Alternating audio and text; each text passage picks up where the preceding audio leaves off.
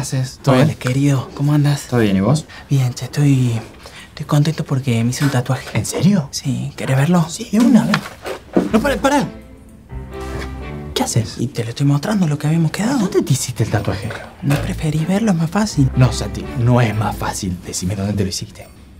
Bueno, me hice un tatuaje en los huevos.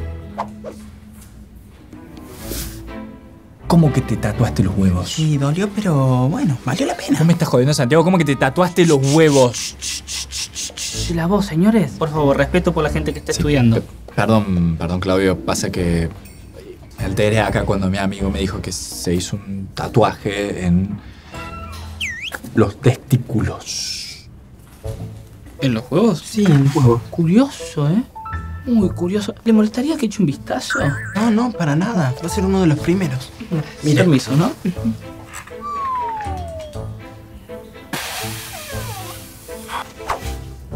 Impresionante esto. Impresionante. El uso de la propia textura del huevo, ¿no? Los, como la- los surcos para hacerle el efecto avejentados. Esto es arte. El arte de lo pequeño. Convertir un escroto en algo tan bello. Ah, bueno, eso no lo puedo creer. Hola Pablo, qué linda remera. Es el pijama, está bien. ¿Vos cómo estás? Bien. ¿Te pasa algo? Estás preocupado, tenés cara de preocupado. No. No, preocupado porque no. No, no, no, no pasa nada. ¿Por qué preguntas? Porque estás todo transpirado. ¿Por qué el bibliotecario le está viendo la entrepierna a ese chico? Voy a tratar de explicártelo, ¿sí? Él es Santi, es mi mejor amigo, y el bibliotecario le está mirando la entrepierna porque él tiene un tatuaje en los huevos. ¿Y los huevos? ¿Me estás diciendo en serio? Yo sé que es súper desagradable, que es de muy mal gusto, pero... No, toda la onda, un tatuaje en los huevos. ¿Vos crees que si yo le pido él me, me- me mostraría? O sea, por curiosidad nada más. Eh, a- no sé si tienen tanta confianza como para andar mostrándolo por ahí, ¿no? María del Carmen, venía a ver esto, por favor. Mira.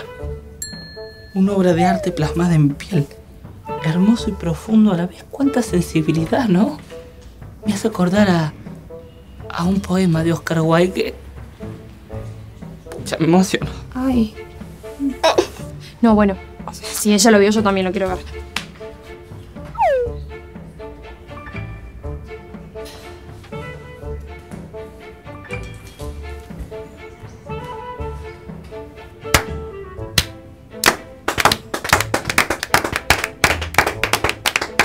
Sos un genio. Eso es lo que sos, un genio.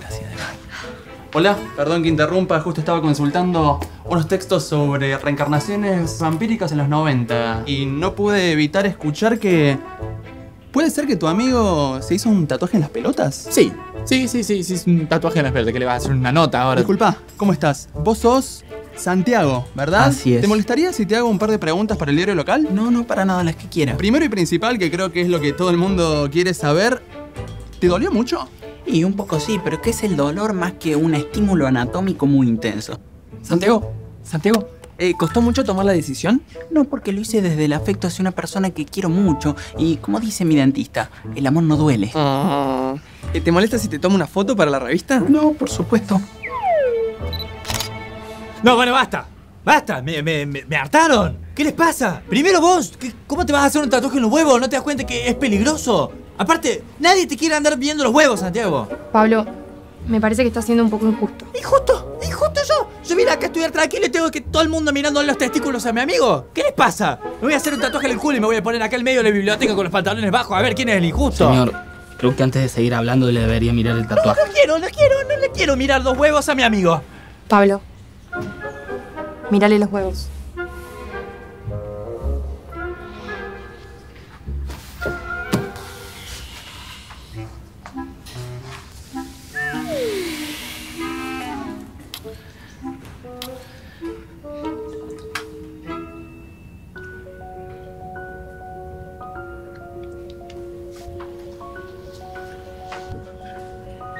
Es, es mi cara. O sea, te tatuaste mi cara en los huevos.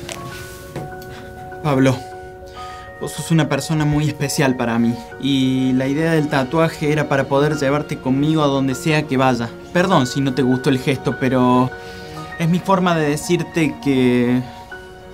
De decirte que te quiero, amigo. Yo también te quiero.